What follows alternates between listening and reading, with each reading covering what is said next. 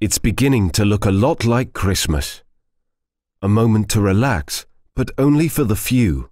While others are building walls and are battling for power, some are nervously defending themselves or working overtime on the next big thing.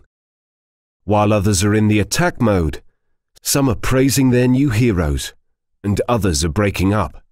We wish you a Merry Christmas and to be one of the lucky few. Relax.